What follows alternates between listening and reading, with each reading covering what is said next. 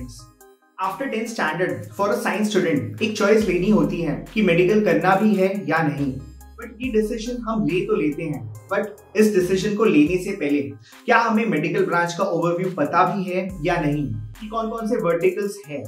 Like internal medicine surgery diagnostics dentistry veterinary occupational therapy microbiology etcetera and मुझे किस vertical में specialization करना चाहिए?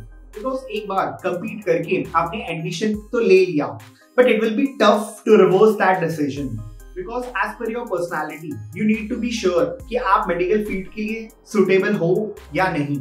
इस वीडियो के एंड तक आपको इस पूरे ब्रांच का एक ओवरव्यू पता चल जाएगा।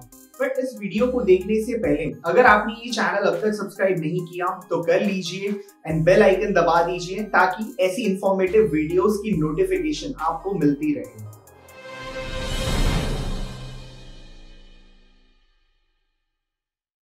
जनरली एक डॉक्टर बनना, काफ़ी किड्स का बचपन का सपना होता है ये ऐसा प्रोफेशन है जो हम सब अपने लाइफ में एक्सपीरियंस करते हैं by visiting a hospital medical एक ऐसा ब्रांच है जिसमें लाइफ टाइम लर्निंग रहती है, जहाँ एक पैशन रहता है टू हेल्प पीपल आपको अपना टाइम एंड एनर्जी सैक्रिफाइस करना पड़ता है for care of patients medicine field अब एक सुपर स्पेशलाइजेशन एरा में एंटर कर चुका है.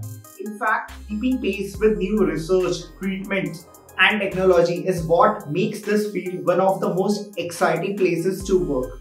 Medical field में काफी सारे वर्टिकल्स होते हैं like internal medicine surgery diagnostics dentistry occupational therapy, microbiology and virology, veterinary, pharmacist, hospital management, operation theater technician, dietitian or nutritionist. Then we have biotechnology. Let's talk about the first vertical, which is internal medicine. इसमें बीमारी को या तो oral like tablets और syrup या फिर through nerves by using injection दवाई या केमिकल्स इंजेक्ट करके ठीक किया जाता है।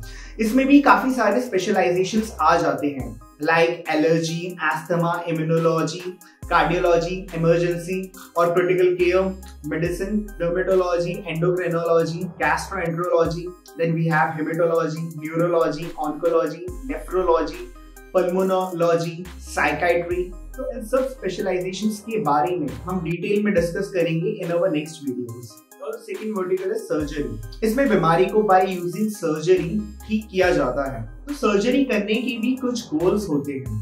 लाइक like, किसी बीमार पोर्शन को रिमूव करना हो लाइक अ कैंसरस ट्यूमर या फिर रीअटैच करना हो like fix broken and relocated bones in their correct place या फिर रिप्लेसमेंट करना हो like a knee replacement surgery या फाइनली कुछ डायग्नोसिस करना हो देन हम सर्जरी यूज़ करते हैं। इसमें भी काफ़ी सारे स्पेशलाइजेशंस आ जाते हैं। Like cardio thoracic surgeons neuro surgeons eye specialist और ophthalmologist then we have paediatricians orthopaedic surgeons obstetricians gynaecologist E N T plastic surgeon anaesthetics etcetera इन सब के बारे में भी हम डिटेल में डिस्कस करेंगे in our next videos third vertical is diagnostics जब भी हम डॉक्टर के पास जाते हैं तो एडवाइस करते हैं कि ये टेस्ट करवा लो या फिर ये रिपोर्ट निकलवा लो like x ray CT scan etcetera जिसको एनालाइज करके वो मेडिसिन बताते हैं या अकॉर्डिंगली ऑपरेशन होता है. सो so, ये सारे test and reports diagnostic department करता है. तो इसके अंडर भी वेरियस वर्टिकल्स आ जाते हैं like we have radiology pathology now the next vertical is dentistry. So dentists treat disorders related to teeth, gums and soft tissues of the mouth.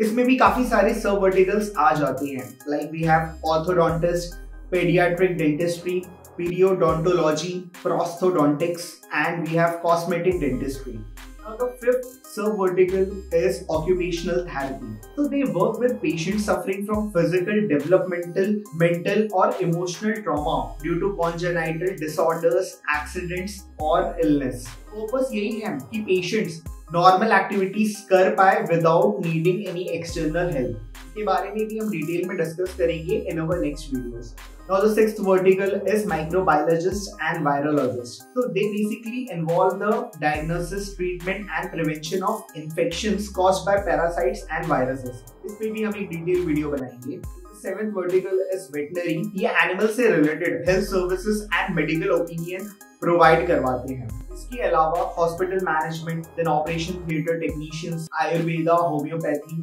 dietitian and nutritionist भी verticals हैं in the field of medicine तो इन सब पे हम एक detail video बनाएँगे individually for awareness purpose तो अगर आपको ये वीडियो इन्फॉर्मेटिव लगी हो तो इसको लाइक एंड शेयर कीजिए। एंड अगर आपको कुछ डाउट हो तो आप कुछ मेंशन करना चाहते हो तो आप कमेंट करके हमें बता सकते हो। हमारे चैनल का यही पर्पस है to create awareness for careers and अगर आप मुझे सपोर्ट करते हो तो इस चैनल को सब्सक्राइब करें, ताकि आपको ऐसी इन्फॉर्मेटिव वीडियोस की नोटिफिकेशन मिलती रहे। धन्यवाद।